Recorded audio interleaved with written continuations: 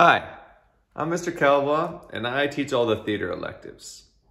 And now, I'm Mr. Calbaugh wearing glasses. Either way, I still teach the theater electives.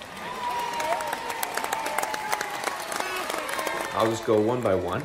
Uh, we start out with Theater 1. In Theater 1, we play theater games, we do improv, and we focus on building our voices and empowering those voices so that we have more confidence and comfortability with one another and on stage, whether you're gonna be on stage in a theater or you might need to perform elsewhere.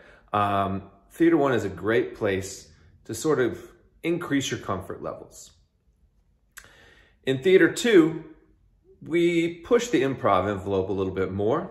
Uh, our theater games become a little bit more advanced. We dive into some scene study and technique study.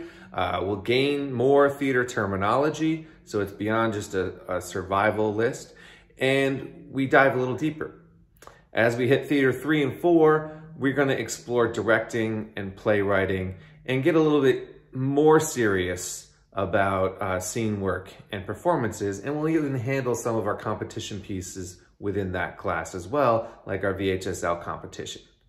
Um, to be in theater two, three, and four, you need to have completed the levels before it. If you're more interested in backstage work, um, or you might not know what you're interested in, technical theater might be a great place for you. We have technical theater one and technical theater two. Technical theater one, we get an introduction to theater vocabulary and the makeup of the theater.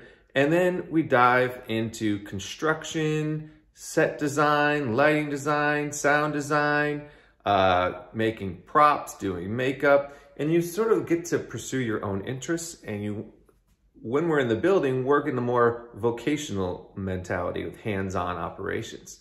Um, theater two, we advance all those concepts and take on the leadership and design element roles a little bit more fully.